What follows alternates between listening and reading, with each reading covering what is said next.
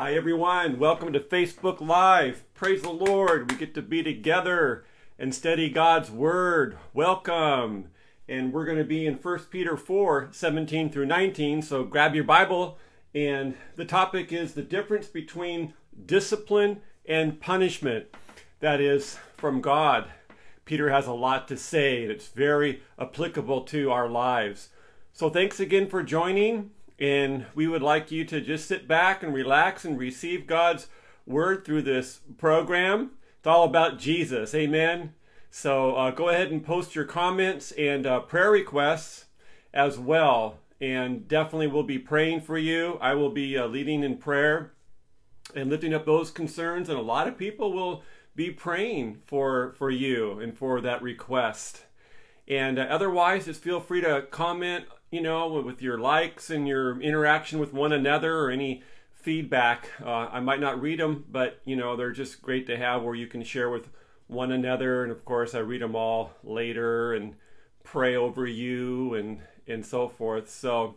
A lot of you haven't uh, commented yet, so feel free to do that. And if not, if you want to remain anonymous, that's just fine. Receive God's word and be blessed. You know, you're God's child, and He wants to bring you his peace and his love and his salvation right now to you. So let's pray for that.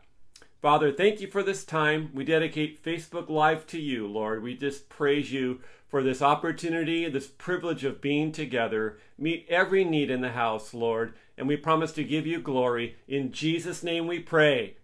Amen. Amen. Well, let me grab that guitar and let's sing a wonderful old hymn called Blessed Assurance. What a joy!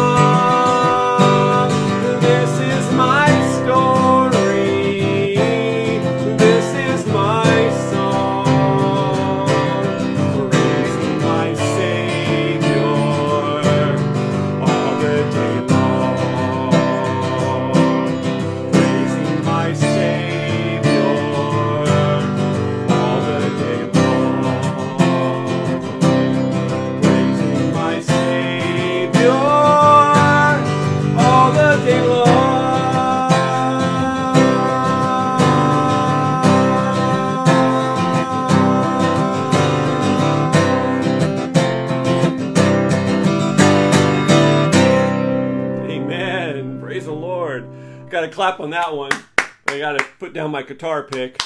Thank you, Jesus. Yes, thank you, Lord. Boy, what a great hymn, right? And um, that is so true. What a happy, happy song to sing from our hearts to the Lord. Here's one that I wrote a while back called A Living Sacrifice, taken from Romans 12 1 and 2. So it's a song of dedication to the Lord, to bring Him everything in our lives to Him, to serve Him, to love Him.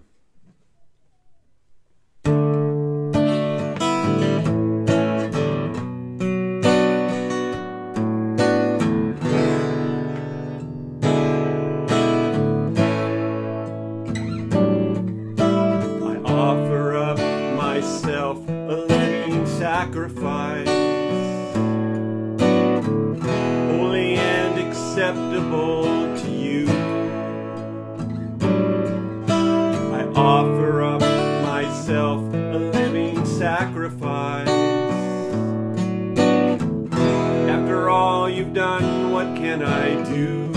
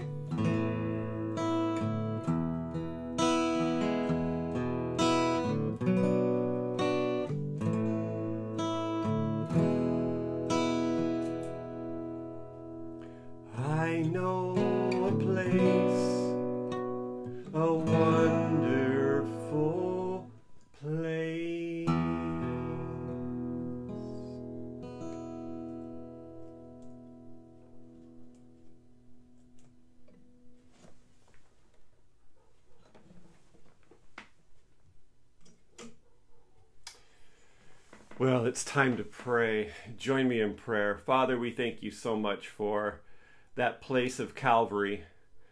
It's so nice to visit there, Lord, and to visit there often.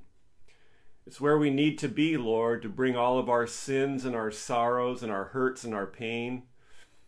We thank you for your blood that saves us, cleanses us, renews us, Lord, empowers us, takes away all guilt and shame. That consuming feeling that we've always are doing something wrong, or that terrible deed that has been done to us. That it's hard for us to shed, Lord. We thank you for your divine power and strength. Through the blood of Jesus that reaches to every mountain, that flows to every valley. And Lord just takes in all all of life brings about that beautiful reconciliation Lord. Thank you for making us holy making us pure. We know who we are. We're such sinners but we know a wonderful place and that's the cross of Jesus Christ. Thank you for the gospel Thank you for what we understand about the gospel that you died for us, Lord, that you rose again, that you so loved the world that you came. Lord, we just dedicate our lives to you as that living sacrifice so we can have that beautiful, blessed assurance that comes from you, Lord. Thank you, Father. And we just want to lift up all the needs, Lord. We just kind of want to start on the, the global stage first and kind of come closer to home as we pray for the nations. We pray for our missionaries serving all over the world. Lord, sometimes we we uh, you know forget to pray about them, but not now, Lord. We're just praying for them and just blessing them and remind us to pray for them continually.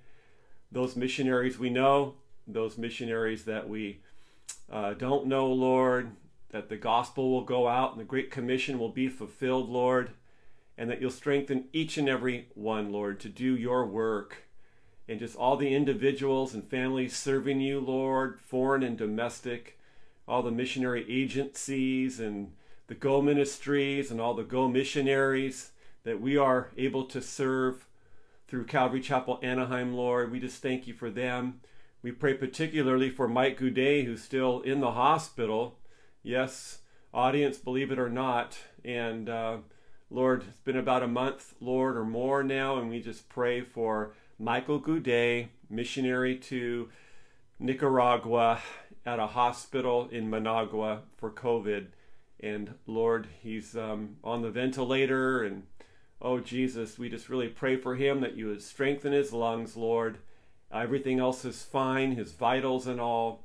But Lord, we pray for special healing for him, that he would be able to breathe on his own, Lord, and uh, you would just resurrect him, bring him out of that hospital, give him a testimony.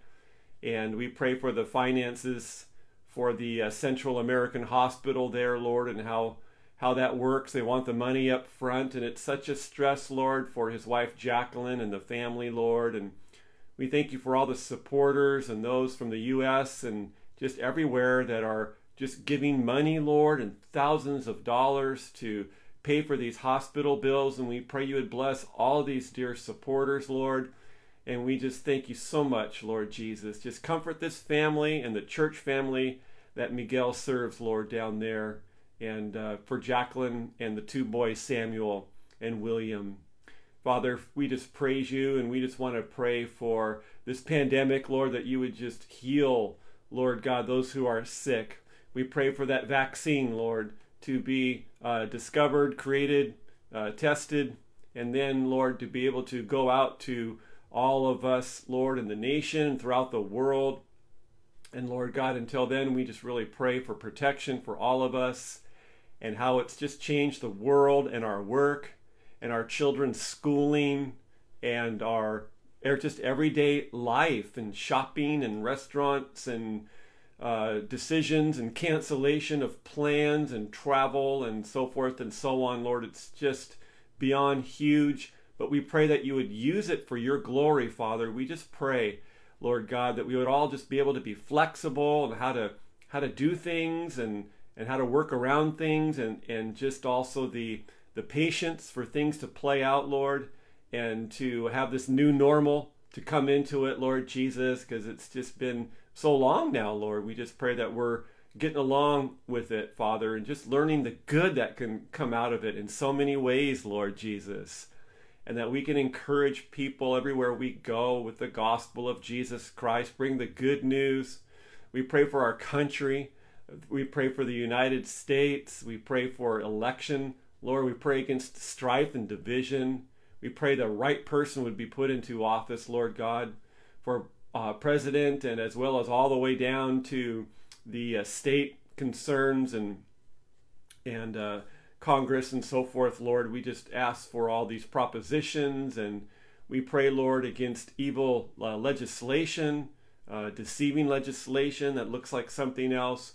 We pray for truth. We pray, Lord, also for Christians to to vote, Lord God, and to do their best, Lord, no matter how they feel, Lord, knowing that it's just such a privilege to vote and we can go out and do that and really uh, bring forth our Christian values by so doing. So, Lord, help us, even if we're not into it. We pray for those who are just not into it this year because they're just so tired with everything else. Lord, that they would be into it and that they would at least say a prayer like we're praying for our country right now, Father, in Jesus' name. We pray against strife we pray against all the stuff going on in our cities and and so forth and so on, Lord God. We just thank you so much for for the peace that we can have in Christ and we pray for unity, but we know we've got to come to the cross first, come back to the Lord, and we just pray that we will, Lord, that we will rededicate our lives to you as a nation, Lord God, and to embrace Christ and the Bible once again, Lord. We pray for the right person to be put into that open seat in our Supreme Court, Lord, and guide those hearings right now, we pray. And uh, we just thank you, Lord Jesus. And Lord, we just want to come down now into our particular requests. We thank you for uh, uh, Donna. She's had a hard time posting, but I see you, Donna, on there right now as I'm kind of just, you know, glancing at the Facebook post. So praise the Lord. Something happened you told me at church this morning that you're having a hard time posting. So uh, she communicated with me um, otherwise. I just want to, you know, read it. And she said just before the program, "Hi Louie, not sure if I'll be able to post on Facebook, so I'd like to prayer for my niece uh, Sachel. Hope I'm saying that right. My niece owns a party business, and when COVID hit, she lost her business overnight. She was able to collect unemployment, but she just discovered that $2,300 was stolen off of the uh, B of A card EDD loads money on too. Please pray she is able to get her money back. She also is supposed to have elective surgery, but it's been postponed twice now because she's anemic. She's taking shots for that, but her levels are still too low. Thanks. So, everyone, let's pray for uh, Donna's niece, Sachel. Father, we bring her up to you, and uh, we pray that you would help her, Lord Jesus, uh, to correct this banking situation and the money that's not going into her, her account through the unemployment, that it would be rectified, Lord, as she contacts uh, Bank of America and and um, the representatives there would be helpful and to be able to uh, discover this problem and to get that money back into her account, Lord, so she can pay her bills and do what she needs to do. So we thank you, Father, for that. And we also pray for the surgery she needs, Lord. Um, but she's anemic, and so she's taking those shots and all, but she's not at those levels. So I pray, Lord, just for all that she needs, just more iron and and just help her through, um, you know, the diet and through the medicine that she's taken and so forth, Lord, that she would come up to those surgical level, levels and she could have that surgery, Lord Jesus. So until then, be with her and the dis- discomfort and the pain and everything that is associated with what she is going through. We thank you, Father. So, Lord, we just now uh, praise you for this opportunity to study your word, and we pray you'd bless it, Lord God. And we just thank you so much. In Jesus' name, amen. Amen. All right. So if I missed your prayer request because it was posted and I didn't see it, you know, during the program, um, then we definitely want to let you know that others are praying and that I'm praying for you, and we'll continue to pray throughout the week. You know, this is a really cool thing. You know, we're a little uh, a family, little kind of like a little church Bible study, aren't we? Uh, in the old days, we used to have little home Bible studies. Guess what? This is a home Bible study, and um, you know, I'm right here out of my own uh, home office so um, I guess it's a home Bible study. So thanks for joining me uh, at your home. And so at this time, we want to study uh, God's Word. And let's turn to 1 Peter 4 17 through 19. And I got my Bible right over here. So let me grab it.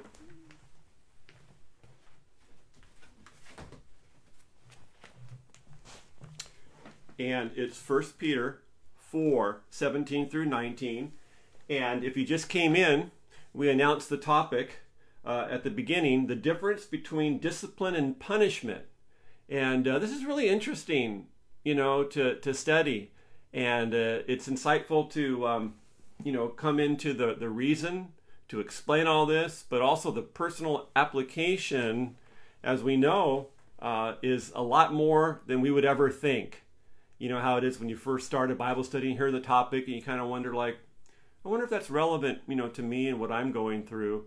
But the Holy Spirit makes it relevant. Amen. Isn't that true? You know, and uh, sometimes we're just really pleasantly su- surprised uh, once we hear a topic and go, oh, I don't know if I'm going to really enjoy this one. But uh, God's word is living and active, sharper than any two edged sword. So let's go ahead and um, read 1 Peter 4 17 through 19. It says, and we'll close the chapter out uh, with this For the time has come for judgment to begin at the house of God. And if it begins with us first, what will be the end of those uh, who do not obey the gospel of God? Now, if the righteous one is scarcely saved, where will the ungodly and the sinner appear? Therefore, let those who suffer according to the will of God commit their souls to Him in doing good as to a faithful Creator. Well, it's really cool how Peter is developing the uh, whole thing about trials and tribulations and uh, how to deal with persecution that was really happening during his time, the time of his writing. And Nero, remember, was on uh, the seat of authority there in Rome, and he is the guy that was going to be, you know, persecuting all the Christians. It was just now starting, but uh, later on there will, there will be the burning of Rome and the blaming on the Christians, and more and more persecution will break out, and subsequent Caesars uh, will, um, you know, come and really try to exterminate um, Christianity. And that will go on for a couple hundred years until Christianity, uh, through Constantine, Emperor Constantine, was legalized. But these are tough times now. They're entering into tougher times. And isn't that a good way of introduction for us, too, to know that we are entering into more tougher times? I ask you, is it getting better out there as you read the news? Is it easier to be a Christian? See, isn't it just the opposite? So this is good. You know, we want to, um, we don't like bad news. We want a, a brighter future, more of the Disney ending.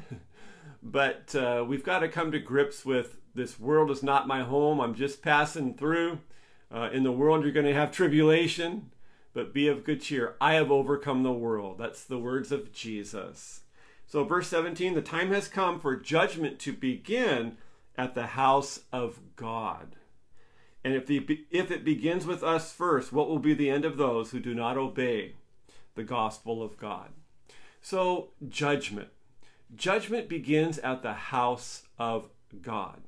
And this is talking about God's uh, discipline for us as a church and then individually for each and every Christian. God allows the refining discipline. This is what it's called. It's not punishment, it's discipline. It's different. Discipline uh, means to train, and God is training us through the hard times. It's hard to be trained through the good times because we're having such a great time, you know, and we're a little bit more softer, uh, less reliance upon the Lord, you know, and that kind of thing. God often allows believers uh, to go through uh, these trials and to make us more like Jesus and a more effective tool in his hand. So, with that, why don't we bookmark it here? And uh, we'll come back, of course, and we'll go over to Hebrews chapter 12. Okay? So, that's back to your left. And we're going to talk about the discipline of God. And it's, it's going to start with um, verse 5. Hebrews 12, 5. You ready? And you have forgotten the exhortation which speaks to you as to sons. My son, do not despise the chastening or the discipline of the Lord, nor be discouraged when you are rebuked by him. For whom the Lord loves, he chastens and scourges every son whom he receives. If you endure chastening, God deals with you as with sons. For what son is there whom a father does not chasten? But if you are without chastening, of which all have become partakers, then you are illegitimate and not sons.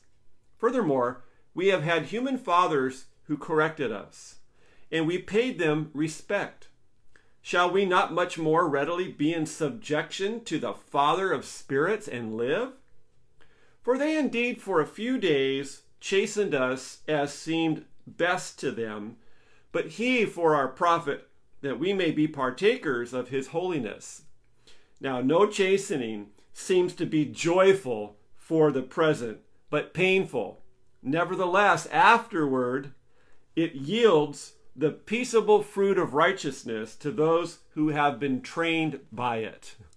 So, for you note takers, that was Hebrews 12, 5 through 11. 5 through 11. And it's a good one to go back to. If you're like me, I like to jot some of these things down. And then um, I have a little uh, journal I bring with me to church along with my Bible. And I have my favorite pen. And when Pastor James is teaching, um, I like to write things down. And then later on, when I come home or you know, the next day or whatever, I like to review my notes and uh, kind of look these things up again because sometimes it goes by so fast, doesn't it? And it's like, wow, you know, where was that? And so if I jot it down, then I have uh, reference uh, to it. But here it is, the discipline of God, um, and it's all good for us. The Lord loves those whom He disciplines, just like a father. A good father will discipline the child so they won't be a brat. Uh, we want to be a, a, good child of God. Amen. And um, then it talks about in verse 11 that it's it's not fun, you know, to be disciplined. And you know, when you go through stuff and um, you know, the Lord has to is refining you or disciplining you and I, it doesn't feel good. You know, trials and tribulations and things that go wrong and and hassles and all. It's like, Lord, why are you allowing this in my life? And then you read scriptures like this and go, oh, okay, I, I know why, Lord. You're just refining me. So, um, of course, it doesn't feel good. It doesn't have to feel good. But as long as we know the purpose, God loves me. Does God love me? Yes. Is He disciplining me? Yes. Did I do something wrong? You know, maybe not. Not necessarily. Just like Job, he was the most righteous man on the earth, but yet he went through all those trials. You might say, why, Pastor Louie? God wanted to make him a better man. We all stand in need of improvement. Amen? Yeah, we do. And nothing deepens a person and makes them more like the Lord and more wonderful and lovely and and more uh, you know deep as a person and more attractive in nature than the person who has suffered, who bear scars and you know just have a lot of experience of of things that they've gone through of troubles and, and loss and setbacks and pushbacks. All those things that, you know, they didn't like and they cried in their pillow and they carried, you know, so much close to their, their heart that, you know, they've just felt like no one could really know it but them and the Lord. But see, God makes you a better person. And it says afterward it yields the peaceable fruit of righteousness to those who have been trained by it. So yield yourself to the Lord. Give in. Instead of, you know, being stubborn and pushing away uh, the Lord's hand, you know, there's a good hand of the Lord. It says in Ezra, the good hand of the Lord is upon us. And you might feel like, well, gosh, it's kind of a hard hand right now, but it's a good hand. And if you really think about it, it's a nail scarred hand and he loves you and he died for you and he has your best interest at stake. Oh he how much he loves you. And he's going to bring you through and afterward afterward i love that it yields a peaceable fruit of righteousness to those who have been trained by it. So let's not be stubborn. Let's accept what's going on and not try to push it away. Um, we can pray you know and seek the lord and ask him to deliver us. But it's in his timing and in His way, and let us be able to be in it for the long term um, as God allows, or as short as He would allow. But it's up to God, isn't it? We don't try to squeeze out of our own problems or try to fix our own problems ourselves. So that's a little side, you know, Bible study. Let's go back. Um, we want to be faithful with the scripture where we're at here in 1 Peter 4 17. So judgment then begins at the house of God. It begins with us. You know, God uh, puts us through the fire now. And the cool thing about that, brothers and sisters, is we won't have the fire later, the fires of hell. You know, God satisfied his wrath, his righteous anger against sin uh, through Jesus on the cross when he died for all of our sins and rose again.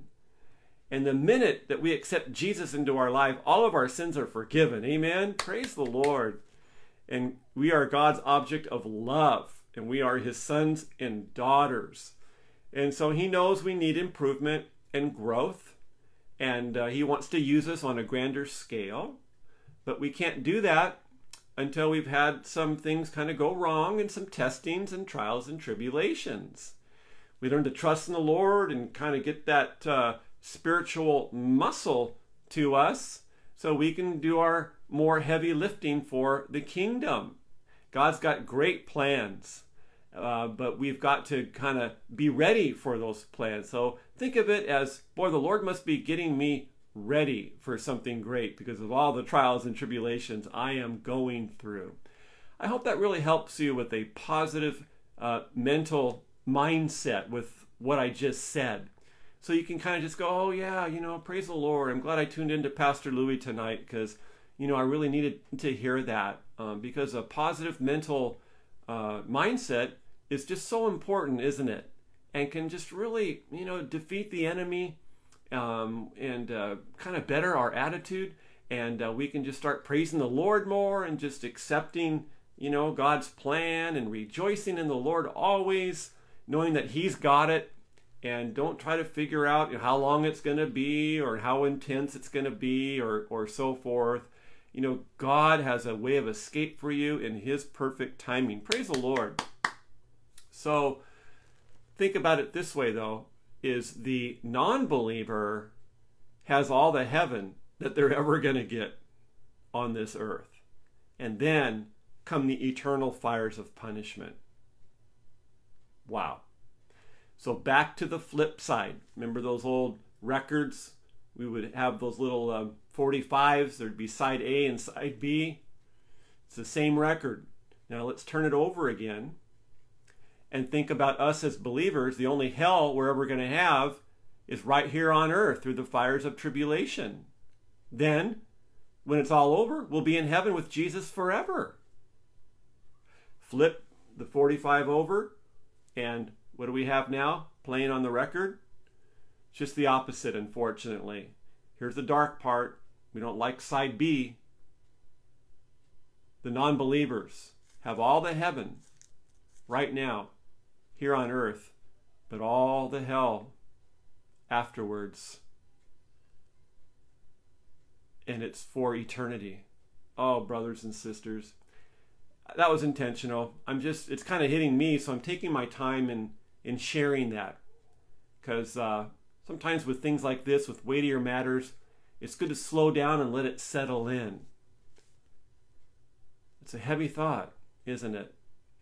So, with that in mind, a couple things. One is we trust the Lord for what we're going through, knowing that it's only temporary. Amen? And also, we want to get the gospel out to the non believers and let them know, you know, that they can be with Jesus forever and not have to go through the fires of eternity. Oh, that's a good contemplation, brothers and sisters. Well, let's get back to us now. We are being taken care of by the Lord. He's cleaning house in the church and in our own personal lives. And every now and then the Lord will just do that. And we need it. You know, our houses get cluttered, don't they? And, you know, they make a joke about it. You should have people over every now and then just so you can clean your house and get it all spick and span. And otherwise, we kind of just allow things to go because it's like no one, no one comes over and you know sees my house. But then you throw a little party. It's like, oh wow, I better, I better clean up. You know, Jesus twice cleaned the temple. Remember that at the beginning of his ministry, then at the very end. So the Lord will do that in our own hearts and lives. We need it. Judgment must begin at the house of God. These are the last days, and we can't just be playing around at Christianity or our relationship with Christ. The Lord wants us to be all in and serious, you know, and walking with the Lord, carrying our cross and sharing our faith and and growing and loving. And so the fires have to come, you know, uh, in order to have that happen. Ezekiel 9 6 says, Begin at my sanctuary when it talks about how there was going to be judgment uh, back in the temple days for the Jews. I love it. Again, Ezekiel 9 6, begin at my sanctuary. I wonder if that's what Peter had in mind when he said, judgment must begin at the house of God. Here's two scriptures in Daniel Daniel 11 35 and 12 10. Daniel 11 35 says, And some of those of understanding shall fall to refine them to purify them and make them white until the time of the end, because it is still for the appointed time. So, uh, some of those of understanding shall fall to refine them, purify them, make them white. And then Daniel 12:10, many shall be purified, made white, and refined, but the wicked shall do wickedly, and none of the wicked shall understand, but the wise shall understand. So there it is. There's the refining. Uh, it makes our garments more white. It makes us closer to Jesus and to be a pure vessel uh, for the Lord to use because He uses not perfect vessels, but He uses purified and holy vessels uh, for His cause. And so it goes on now in uh, 1 Peter 4. And if it begins with us first, what will be the end of those who do not obey the gospel of God? So when the gospel goes out, there are those who who just disobey, and you know you just see it, especially just so many days before election, and and we just see the great divide, don't we, uh, in our in our nation uh, when it comes to values. It just has never been so so far to the right and so far to the left, you know, kind of thing with a big chasm in between. These truly are the the last days when we see that spiritual moral polarity. That's what I like to call it. Spiritual moral polarity. And you just go, really this is what people believe and and this is what certain congress people uh, are saying and and the people on the news and certain leaders it's like really man, it's just so liberal and what's going on. But, you know, uh, the Bible says that what will be the end of those who do not obey the gospel of God? We all have a choice. You know, God makes us hear the gospel. He starts with uh, our conscience, Romans 1, uh, creation, uh, Romans 1, our conscience, Romans chapter 2. And then each and every one of us has a day of salvation and a visitation from the Lord. And uh, so during those times, we want to not only hear the gospel, but to obey the gospel. If we turn Jesus away, there's going to be no chance, and there's no second chances once it's all over. You know, once we die, that is it. And so we want to make sure that we are ready for heaven now. I love uh, Simeon in the Bible. Once he saw Joseph and Mary and, and held the Christ child, he's, he basically said, you know, now I can just die and go to heaven uh, because I've seen the Lord. I've seen the Lord's Christ. And he just, that was his goal. So don't leave earth without Jesus. In verse 18, uh, here's a quote now from Proverbs 11:31. If the righteous one is scarcely saved, where will the godly and the sinner appear? That's interesting, isn't it? This emphasizes God's uh, discipline, disciplinary demands on his children. If believers need earthly discipline from God, how much more will unbelievers receive it? If the righteous are barely saved only because of God's mercy, what chance have those who reject Christ? So that's what that verse is talking about. Uh, Peter is quoting from Proverbs again, eleven thirty-one. And now our last verse, verse 19. Therefore, let those who suffer according to the will of God. I like this. Do you like it? When we suffer, how? According to the will of God. And that is really, really cool to think about. That, you know, when we suffer, it's going to be according to God's will. He allowed the trials and tribulations. You might say, well, the devil's all over me and well, that's that might be true, you know, as far as the how we feel and like the devil is just beating us up and but Paul says with his thorn in the flesh, God allowed the thorn in the flesh, a messenger of Satan to buffet me. So I like to flip the coin and just see it as, you know, God's refining. Even though we kind of feel the enemy in there and and uh, again those setbacks and those uh, those punches from the devil, you know, well, we just uh, praise the Lord that God has a purpose and a plan behind it all. We suffer according to the will of God. You know, God allows trials and tribulations. You might say, well, well, guy I just, I just I need a break. And that's really true but God knows how much you can take you know and he does lighten it up you know when when it is needed. And he he, he just is so good at that. But then you know when the trials come we just have to know that God is in control. We suffer according to the will of God. Something's going wrong in our lives. We just go well you know I don't like this you know I wish I had more money um, I wish I was closer in relationship to that other uh, person. Um, I wish I had uh, uh, just a, a, greater ministry. I wish I knew God's will more, you know, for my life. Um, whatever it might be, it might be a health concern that you're you're going through.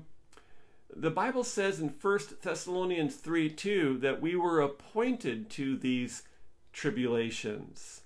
You know, there's an appointment and God knows what's good for us.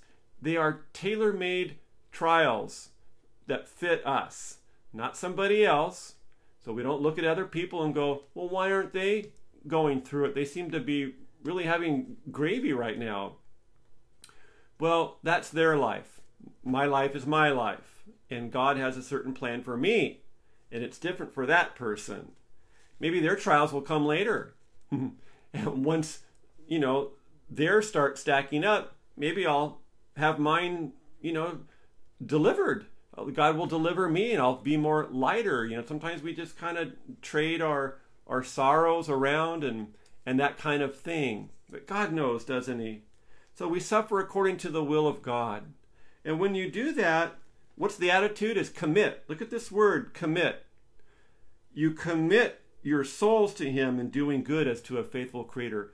This is so important. Now, hang with me now, because I know we're towards the end of the Bible study.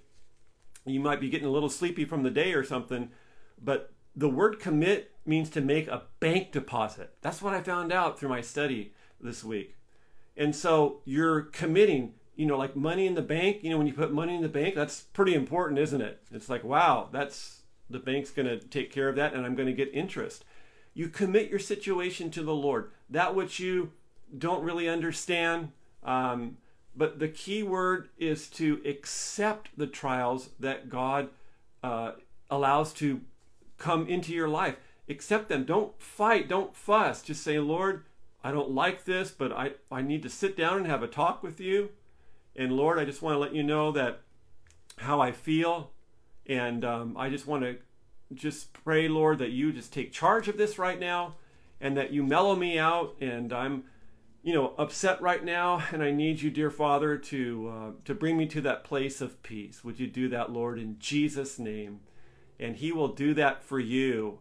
And then you're committing your situation to the Lord, and then you kind of just spend some time, you know, marinating the situation, um, whatever it is. You know, take the time to pray, to to get away, to get aside.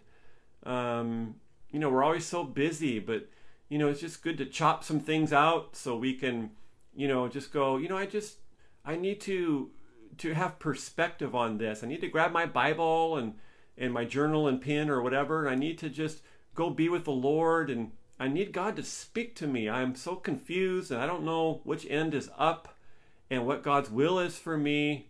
And then as you do that, you know, your thoughts start settling. You start seeing your situation from a divine perspective. And then it really helps you, the peace starts invading your life. And it's really really cool. That and then then you go on you know and you know that god's got it right? And uh, we don't give him a timeline.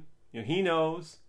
Uh, the cry in the bible is how long o lord both in psalms and revelation and revelation answers it it says just a little while longer how long o lord will i have this problem and then the divine answer is just a little while longer. I like that. So some people, I've actually seen people give uh, timelines to the Lord. You know, now by this time, you know, next month on this date, um, if the Lord doesn't come through, then I'm going to. It's like, what?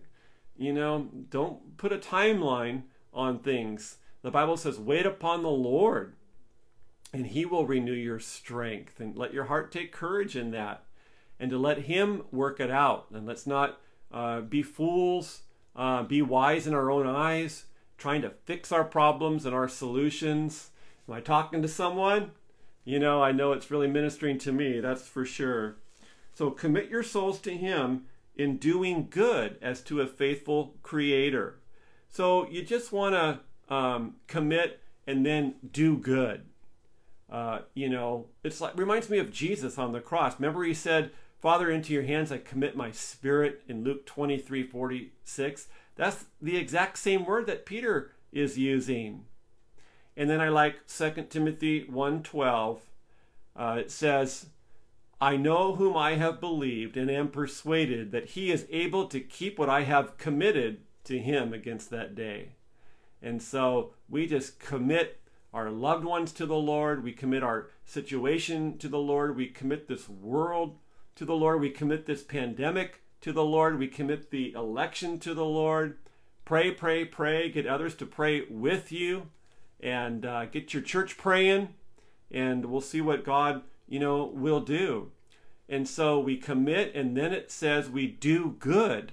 We do good.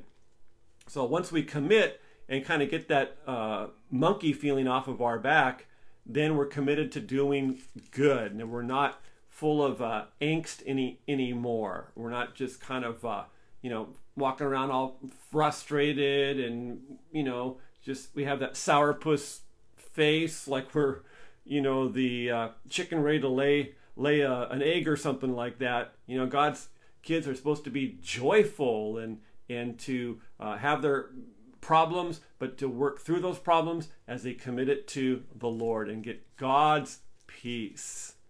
And, um, you know, in the world, everything has to be over and concluded before there's joy, but not for the believer. We can have that right now. Amen. Still have our problems unresolved, and yet we're the happiest person in the neighborhood. And why is that? Because we've committed it to the Lord. It's yours, Lord. I cast all my cares upon you, for you care for me and we do good.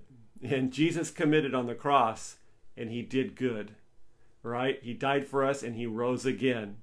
So good things happen when you commit your situation to the Lord, you do good, and then uh, it says, as to a faithful creator. That means he's faithful to always come through for us. The Bible says in Lamentations 3 Great is thy faithfulness. We serve a faithful God. He will never abandon us, He will never leave us nor forsake us. Hebrews 13:5. So God created us and he has our best interest at stake. He not only created us, he died for us. He rose again and he's right now our rock and our redeemer and our strength and all that we need him to be. Amen. All right. So let's pray. Father, we thank you so much for this time to study your word, Lord, and we just pray about this difference between discipline and punishment. Lord God, we know that you you don't punish your children, you discipline them, you train them, Lord God. And we thank you for that, Lord. That's what we do with our kids. We don't punish them for wrongdoing. We discipline them, we teach them and show them the way. So we thank you, Lord, for that difference. I pray that each and every one of us would be have that sense of love from the Father through Jesus Christ our Savior. That when things go wrong, that we wouldn't feel like you're mad at us, Lord, that you're punishing us. But instead, we know it's just you're training us through the hard times that we go through. And we just want to yield to that, Lord. Thank you that we have heaven and not hell. Thank you that this is the only fire of hell we're ever going to go through is here on this earth. And then, Lord, we're going to be with you and there's going to be no more of this no more of this tribulation and and this pain and uncertainty and sorrow and and loneliness and and just the darkness lord and the confusion of this life. We thank you lord that we'll be with you forever. Oh lord we just thank you for that hope. And we just now want to commit our situation to you. I pray for my brother. I pray for my sister that you would help them lord to put it on the altar and to keep it there and not take it back, Lord, and to do good as to a faithful Creator, Lord, knowing that you have created them for a purpose to shine for you. Lord, to be your witness here on earth and then take them home and be with you forever. And we thank you, Lord God. We just pray, Lord, your blessings now in Jesus' name. Amen. Amen. Well, God is good. I just love that Bible study. So go ahead and read ahead to uh, our last chapter. We're going to be in First Peter uh, chapter 5. Let's sing the uh, song that we sang, Blessed Assurance, and hit, this is the chorus. Ready?